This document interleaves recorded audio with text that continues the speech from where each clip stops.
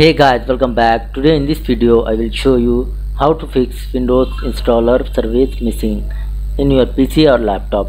So for this guys, first method, you just go to start and type here services. Now select this services app, click on it.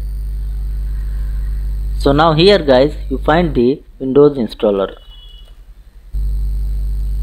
So as you can see here, you just double click on Windows installer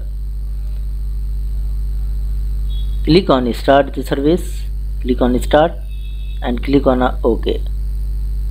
After guys you restart your pc hopefully guys this time it will fix your issue. And if not work once again go to start type here command prompt. Right click here on the command prompt app and select the run as administrator.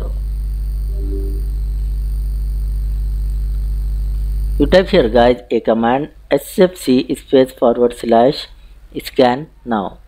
Sfc space forward slash scan now. And hit enter on your keyboard. So see here guys beginning system scan. This process will take some time.